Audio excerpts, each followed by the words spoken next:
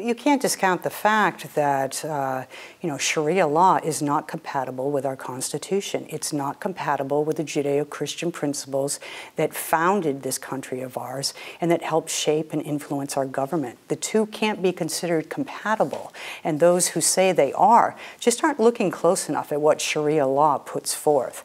What Donald Trump said about closing borders temporarily to Muslims was something that I think American people uh, agree with because they're so afraid of where Obama's taking us in terms of fighting terrorism that they agree that there needs to be an immediate clamp on the border.